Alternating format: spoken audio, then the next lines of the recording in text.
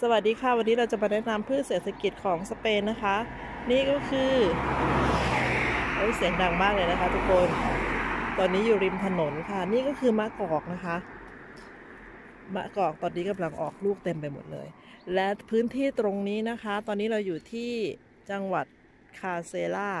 คาซอล่ะนะคะ จังหวัดคาซอล่าในแคว้นอันดาลูเซียแล้วนะคะ ตอนนี้เรากลับมาที่อันดาลูเซียทางใต้แล้วนะคะ ต้นนี้ดอกมาก พื้นที่ตรงนี้นะคะ เป็นพื้นที่ที่ปลูก ต้นมะกอก ปลูกมะกอกนะคะ เพื่อที่จะเอาไปทำเป็นน้ำมันมะกอก ซึ่งเป็นสินค้าเป็นพืชเศรษฐกิจของสเปนนะคะ พื้นที่ตรงนี้นะคะ ปลูกมะกอกเยอะมากค่ะทุกคน เรียกว่าเป็นพื้นที่ที่ปลูกมะกอก แล้วก็ทำสินค้า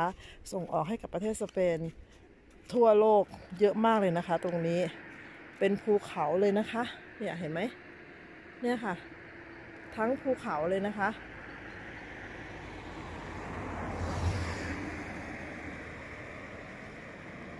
นี่ก็คือต้นมะกอกค่ะต้นนี้น่าจะอายุเยอะแล้วเนี่ยค่ะทุกคนทั้งภูเขาเลยนะคะเขาปลูกมะกอกเพิ่งเอาไปผลิตเป็นน้ำมันมะกอกส่งออกทั่วโลกนะคะ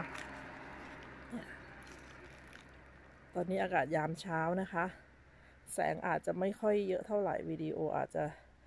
ไม่ค่อยชัดนะคะ ขอโทษนะคะ เนี่ยค่ะ ทั้งภูเขาเลยนะคะ ขับรถผ่านมาพื้นที่ตรงส่วนนี้นะคะ อยู่ในจังหวัดชื่อจังหวัดนี้อ่านภาษาสเปนอ่านค่อนข้างยากนะคะคายนจังหวัดคายนอะไรประมาณนี้นะคะ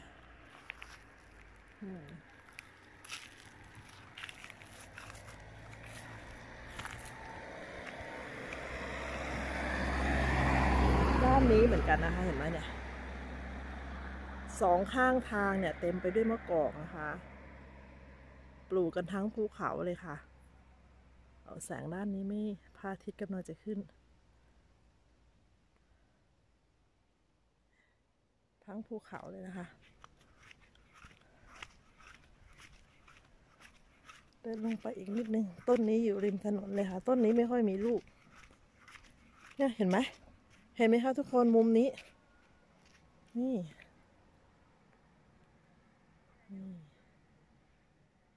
ทั้งภูเขาไม่ได้มีต้นอะไรเลยนะคะ มีแต่มะกอกค่ะ ที่เรียงกันเป็นแถวตรงนั้นนะคะ มะกอกทางนั้นค่ะ ช่วงฤดูการช่วงฤดูการเก็บเกี่ยวก็น่าจะอีกสัก ถ้าจำไม่ผิดนะคะ สักสองสามเดือนเนาะกันยาตุลาพฤศจิกา น่าจะเก็บเกี่ยวช่วงพฤศจิกาค่ะ ตอนนี้กำลังออกลูกเต็มไปหมดเลยนะคะ มะกอกก็จะมีทั้งมะกอกดำแล้วก็มะกอกเขียวนะคะ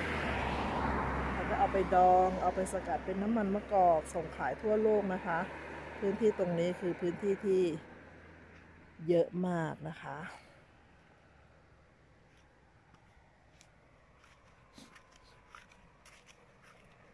ไปตรงไหนก็เจอนะคะ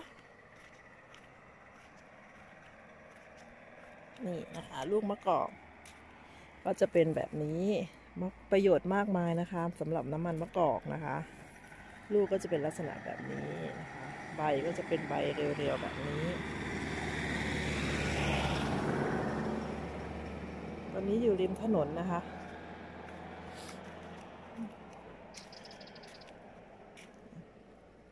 ก็เป็นพืชที่ไม่ต้องการ